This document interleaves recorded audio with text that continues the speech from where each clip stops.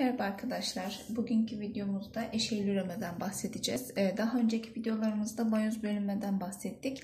Mayoz bölünmenin temeli oluş, temelini oluşturduğu üreme şekli eşeğli üremedir. Şimdi eşeğli üremenin birkaç özelliğinden bahsedeceğim. Eşeğli üreme, eşeğsiz üreme gibi e, çok uzun bir konu değil. Kısaca hemen anlatalım. İlk önce eşeğli üreme ne demek buna bakalım. Mayozla oluşan gametlerin e, biz mayoz bölünme sonucunda işte en kromozomlu gametler oluşturuyoruz. Gamet demek üreme hücresi demektir. Bu gametlerin arkadaşlar birleşerek zigotu oluşturması olayına biz eşeyli üreme diyoruz.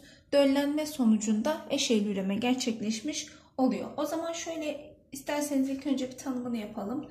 Tanımımız neydi? Mayozla oluşan mayozla oluşan gametlerin gamet ne demekti? Eşe hücresi veya üreme hücresi. Gametlerin birleşerek zigotu oluşturmasıdır. Oluşturmasıdır. Burada birleşerek dediğimiz olay döllenme olayıdır.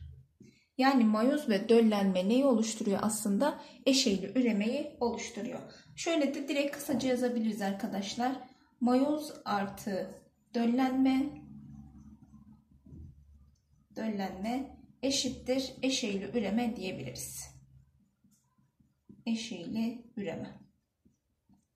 Şimdi ben size kısaca göstereyim nasıl gerçekleştiğini. Bakın şu şekilde. Yumurta ana hücresi vardır. Yumurta ana hücresi İken kromozomludur. Mayoz bölünme hatırlayın. İken, dörten gibi iki katı kromozoma sahip. 2 ve 2'nin katı kromozoma sahip hücrelerde görülüyordu. Daha sonra bir de sperm ana hücresi vardır. Sperm ana hücresi. Zaten ana hücre demek iken kromozomlu hücre demektir. O yüzden e, mayoz bölünme her zaman için üreme ana hücresinde görülür. Üreme hücresi derse yanlış olur. Ana hücresi demek zorunda. Şimdi yumurta ana hücresiyle sperm ana hücresi arkadaşlar mayoz bölünme geçiriyorlar. Mayoz bölünme sonucunda yumurta ana hücresinden en kromozomlu yumurtalar bakın şöyle mayoz geçiriyor. Mayoz sonucunda en kromozomlu yumurta oluşur. Sperm ana hücresinin mayozu sonucunda ise en kromozomlu spermler oluşur. Böyle spermler oluşuyor arkadaşlar. Daha sonra bunlar döllenerek yani bir araya gelerek zigotu oluşturuyorlar. Bakın şöyle en kromozomlu yumurta ile en kromozomlu sperm bir araya geldi. İki en kromozomlu neyi oluşturdu? Zigotu oluşturdu. Bundan sonra ise büyüme ve gelişme devam eder ve e, yeni canlı, yeni birey ortaya çıkar. Büyüme ve gelişme oluyor bu arada. Peki şuradaki birleşmesi olayına ne diyoruz? Buraya da döllenme olayı diyoruz. Döllenme olayı da oldukça önemlidir. Döllenme olayı. Arkadaşlar mayoz bölünme ve döllenme sayesinde nesiller boyunca kromozom sayısı sabit kalarak devam eder. Şöyle düşünün mesela mayoz bölünme olmasaydı iken kromozomlu yumurta hücresiyle iken kromozomlu sperm hücresi ne yapacaktı? Birleşecekti. Bu sefer sürekli ne olur? 4'ten. E bu sefer 4 ile 4'ten bir araya gelir 8'den. Yani bu şekilde kromozom sayısı sürekli katlanarak çıkardı. Ki bizde bir kromozom fazlalığı Down sendromluğuna sebep oluyor. Mesela onlar 47 47 kromozomludurlar. O yüzden Down sendromludurlar. E, baktığımız zaman sürekli böyle artarak, katlanarak çıkarsa ne olur? Çok büyük şeyler, hastalıklar olabilir. İşte yeni canlı türleri belki ortaya çıkardı. Bu yüzden mayoz bölünme ve döllenme olayları sayesinde biz kromozom sayısını sabit tutarak ileriki nesillere aktarmış oluyoruz. Evet eşeyli üreme genel olarak bu. Peki eşeyli üremenin genel özellikleri neler? Bunlara bakalım arkadaşlar. Hemen şöyle sayfayı değiştireyim. Yeni bir sayfaya geçelim. Burada eşeğil üremenin genel özelliklerine bakalım. Genel özellikler. Arkadaşlar eşeğli üremenin genel özelliklerinden ilki ilki nedir? Çeşitlilik vardır değil mi? İlk olarak onu yazacağız. Çeşitlilik vardır.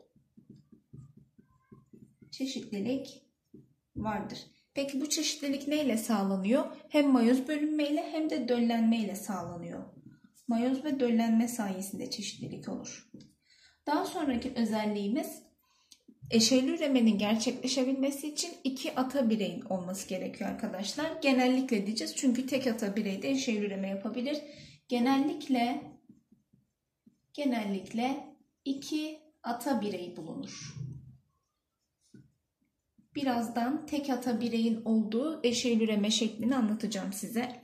Daha sonra arkadaşlar temeli mayoz ve döllenmeye dayanır dedik. Zaten bunu isterseniz tekrardan yazalım. Temelini mayoz oluşturur. Temelini mayoz oluşturur.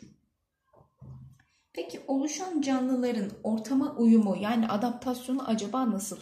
Arkadaşlar oluşan canlıların ortama uyumu, yani adaptasyonu yüksektir. Oluşan canlıların adaptasyon yeteneği yeteneği yüksektir. Eşeğsiz üremede böyle bir durum yoktu. Oluşan canlıların adaptasyon veya işte ortam uyum yeteneği azdı arkadaşlar ama burada yüksektir. Yine eşeyli üremenin bir diğer özelliği de evrime katkısı vardır. Evrime katkısı vardır. Evet, eşeyli üremenin genel özellikleri bu şekilde. Gelelim bizim bilmemiz gereken bir tane eşeyli üreme çeşidi var arkadaşlar. Bundan bahsedelim. Hermafroditlik. Bakın hermafroditlik.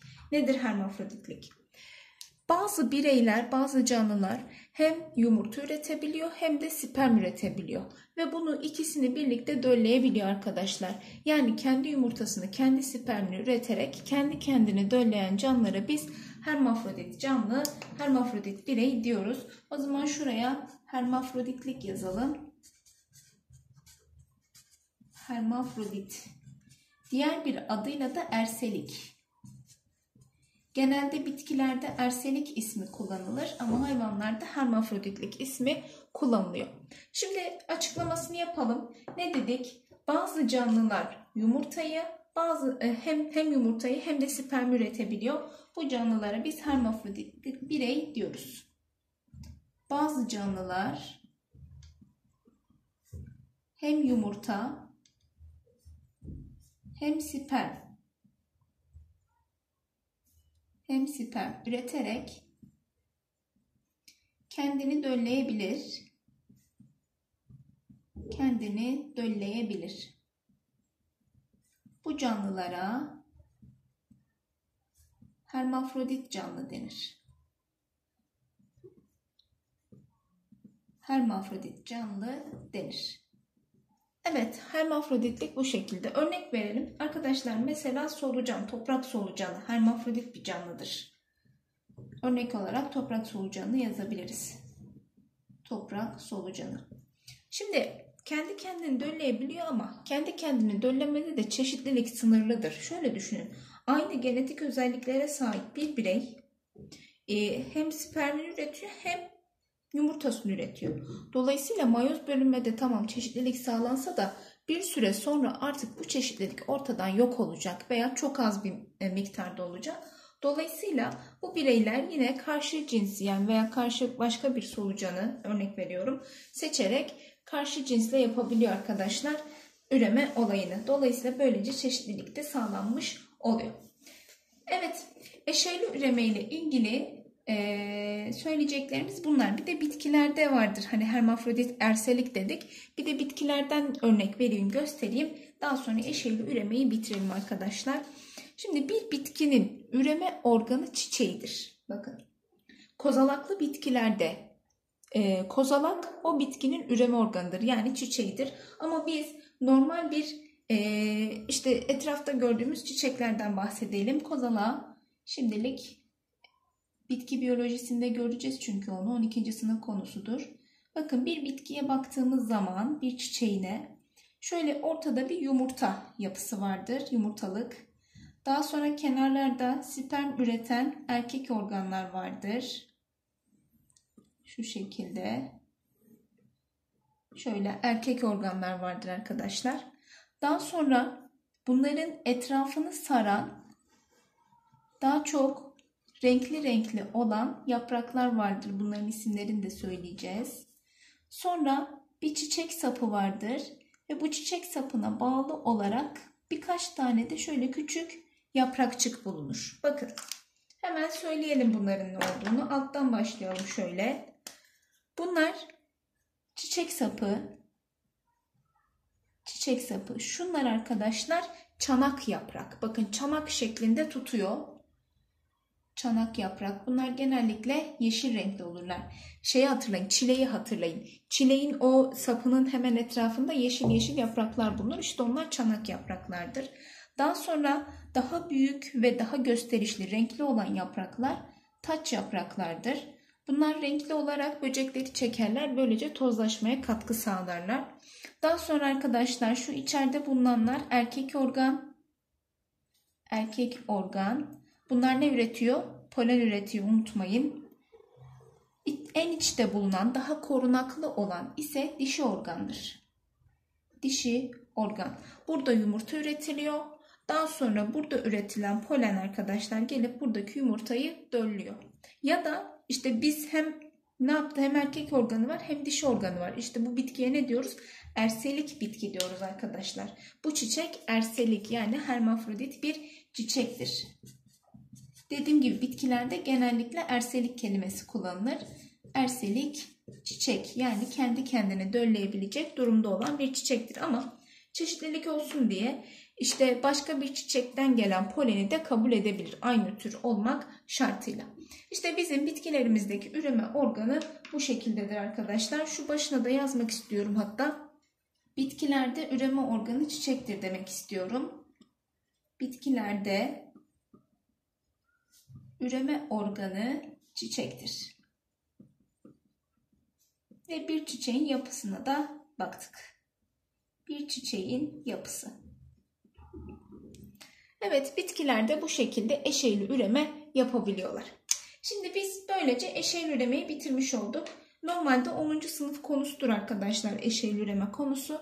Ee, eskiden insanda üreme sistemi de 10. sınıfa dahildi ama daha sonra sistemler konusunda yani 11. sınıfa alındı.